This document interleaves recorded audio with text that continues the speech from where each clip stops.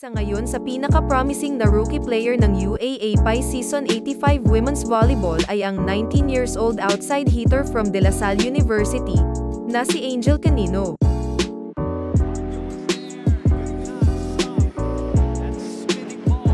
Bata pa lang ang lagi nang naririnig ang pangalan niya sa iba't ibang volleyball tournaments, leagues, conferences at championships. Hindi na maitatanggi ang talento sa kanilang dugo dahil ang kanyang tatay ay isa sa mga assistant coach ng DLSU Lady Spiker at F2 Cargo Movers. Dahil dito ay hindi rin maiiwasan na mapansin siya ng ibang kilalang volleyball players sa bansa. Katulad na lamang ng the face of Philippine volleyball and the phenom Alisa Valdez. Hindi, I think si Angel Canino. Kasi same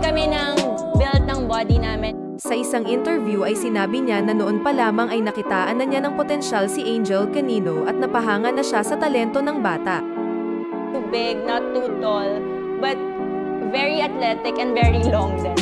So, and ngayon she's really performing really well. Pero nung back in high school, hindi naman ako ganun ka, uh, kasing galing ni Angel. Sa isang tweet naman ay ini-recognize ni Ali ang kagalingan ni Angel Canino.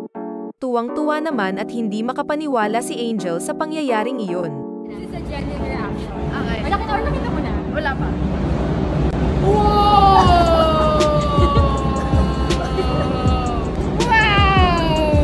I tweeted But I didn't expect.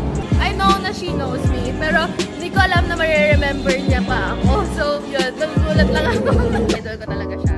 Maraming salamat at ito ang Volley Bunny at huwag kalimutang mag-like, subscribe at hit the notification button for more volley action, tease, and content.